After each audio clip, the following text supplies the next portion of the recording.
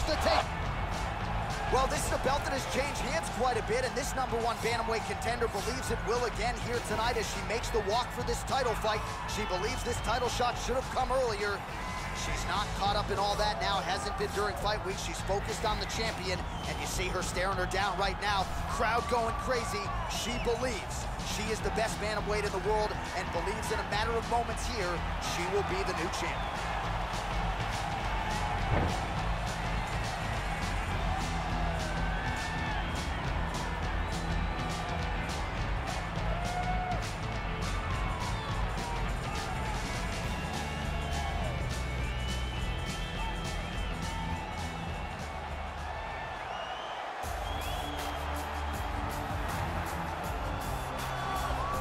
So here she is, the undisputed UFC Women's Bantamweight Champion. How about the confidence as she makes the walk here tonight? She wants to get in there, take care of business, and go eat some buffalo wings in the back. She's been the best 135er in the world now for some time.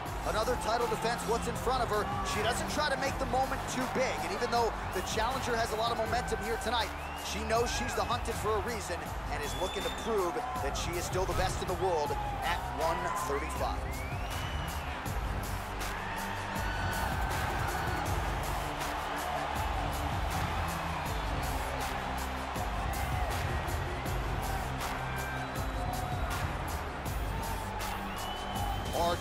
Of the tape for this women's bantamweight championship fight.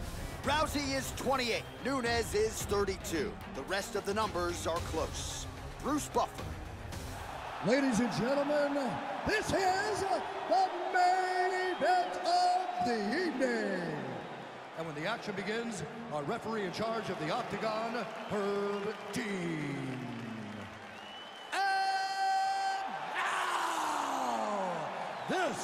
Is the moment UFC fans around the world have been waiting for. Live from the sold-out Toyota Center in Houston, Texas. It's time! Five rounds for the undisputed UFC Bantamweight Championship of the World. Introducing first, fighting out of the blue corner. This woman is a judo fighter, holding a professional record of 12 wins, 2 losses. She stands 5 feet 7 inches tall, weighing in at 135 pounds. Fighting out of Venice Beach, California, presenting the challenger, Rowdy Ronda Rousey!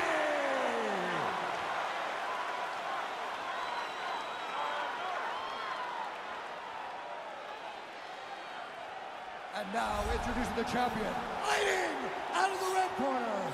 This woman is a mixed martial artist holding a professional record of 20 wins, 4 losses. She stands 5 feet 8 inches tall, weighing in at 135 pounds. Fighting out of Miami, Florida, presenting the reigning, defending, undisputed UFC Women's Bantamweight Champion of the World, Amanda the Lioness Nunes.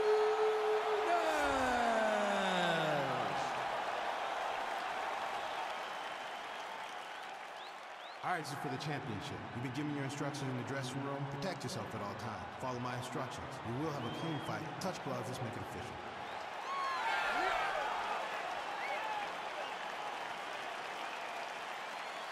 Ready. Ready to fight. All right, so here we go with round one, a massive fight feel in this arena tonight because for the first time since... Oh!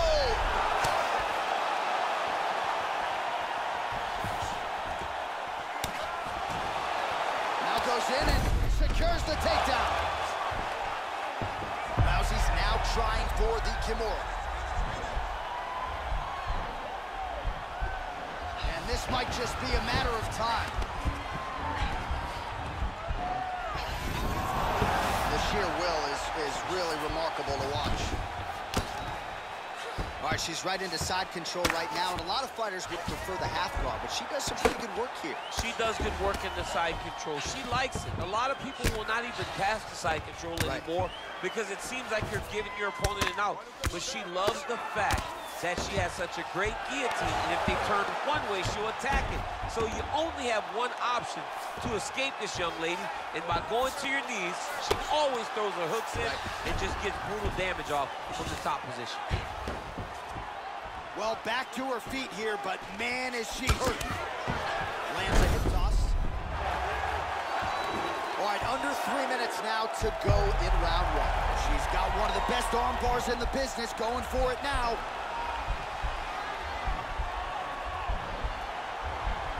Attacking armbar. Nicely done. Good work. You stop it. Good work. Well, pretty good work off of the bottom here by Nunes. All right, so her ground control is outstanding. Half guard is when she's at her most dangerous. Yeah, she's at her most dangerous when she has a half guard because she's so brutal with the ground and pound. She likes to go after fighters and really wear on them, force them to make decisions to give their backs so that she can chase her submission, or they're gonna lay on their back and just get beaten up from the top from that beautiful half guard position. Wow, there is just a viciousness with which she operates here on the ground as she continues to get the ground and pound game going. She might get a finish here. She's looking for the finish. She's so good at dictating these ground exchanges, and she's doing a fantastic job of building posture to try to land that kill shot from the top. Oh, we're getting a finish here.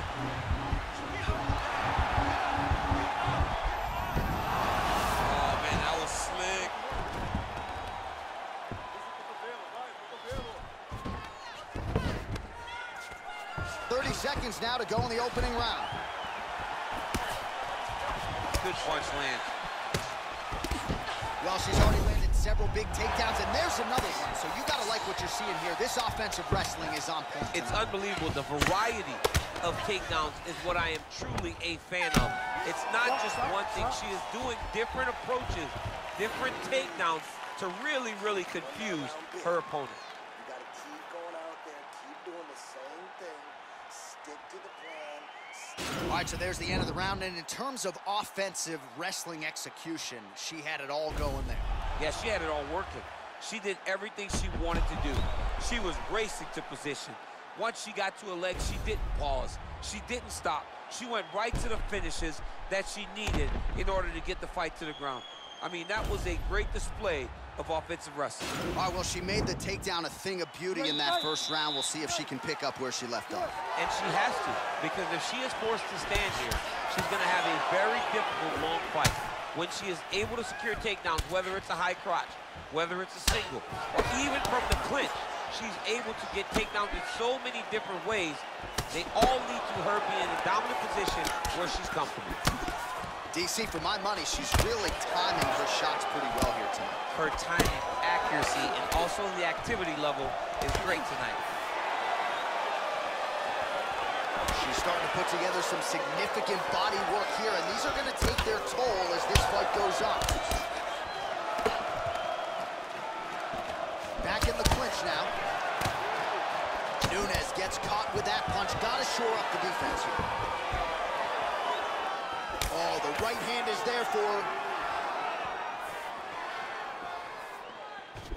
All right, so Amanda Nunes getting off here again as usual. Really as well-rounded a fighter as we have in the men's or the women's game here in 2020. Yeah, regardless of gender, right? Regardless of gender, Amanda Nunes stands amongst the best in pound for pound in the entire UFC. All right, so the fighter, oh, nice ankle pick to get the fight back to the canvas.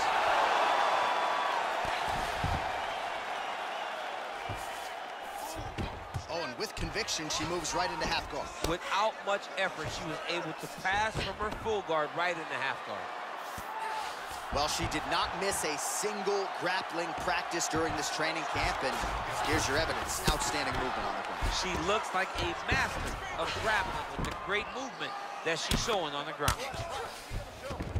While Rousey's in half guard. Nunes is back into full guard. Oh, nice job by her to posture up there. Now we'll see if she can maintain that separation. She has to recognize that her opponent will start trying to squirrel away now, but look for her big ground and pound. Oh, that's a beautiful escape and reversal by her there. Unbelievable sweep. She did a fantastic job of manipulating the weight to change the position. Strong bottom work here, staying busy.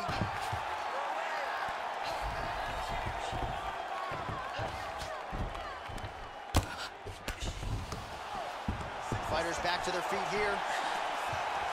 Oh, the damage to that leg starting to take its toll. You see her limping a little bit. Well, she has certainly picked up the pace here in round two and starting to find herself in the pocket a little bit. She was a little bit hesitant in round one. No hesitancy. Oh! Can't take pictures now. She has to react. She has to go chase the finish. Oh! 10 seconds now to go in the round. Real quick leg kick. How about oh, those five minutes? Hey, stop.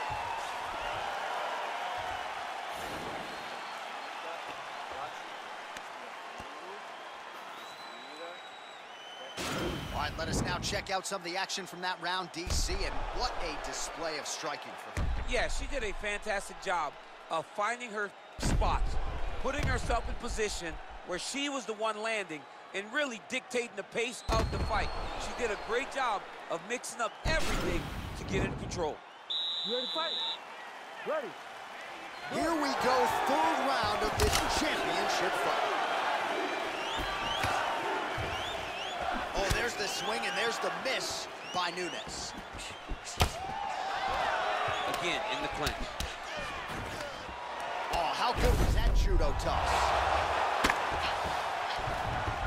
Well, there are a few things more fun to watch in mixed martial arts than these type of transitions and scrambles on the ground. High-level grappling can really be entertaining. Well, she was long on grappling experience coming into the UFC, and you see her chop. Now trying to trap an arm.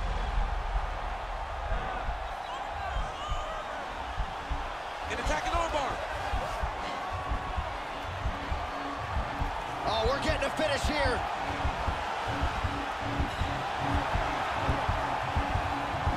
There deep. There you go.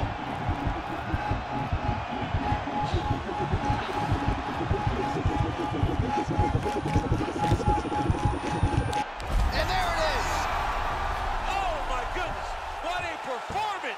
Yeah, no doubt about it. That is some opportunistic grappling right there. And nice finishing instincts as well. You see a lot of fighters get the dominant position, but aren't necessarily able to lock up the choke or force the tap. No problem with her as she gets one of the bigger wins of her UFC career. All right, so that's the end of the round. Lot to like in there, DC, particularly when it comes to her offensive wrestling. She's evolving, right? She's gotten better. She did not have this skill set before. Now you watch her and she looks like an Olympian. She looks like a girl that can wrestle at the highest levels. She scored so many takedowns in that round. Her wrestling coach must be very proud.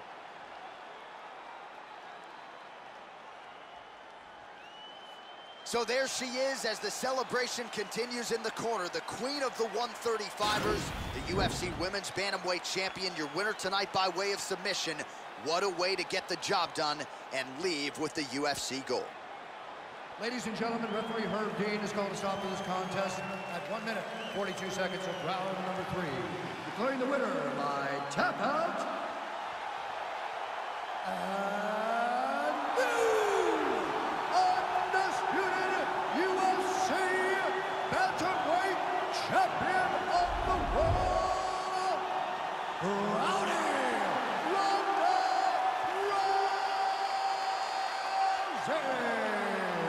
All right, so another seminal moment in a career full of them for Ronda Rousey here tonight. She continues the celebration there with her corner, and why not enjoy it? Certainly returning to dominant form here tonight. And I think you can say now she's only getting better at this stage of her career. That is a scary proposition